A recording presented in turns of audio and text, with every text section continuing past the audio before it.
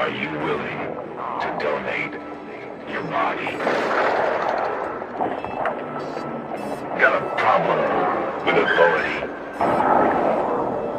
Would you stop a speeding bullet?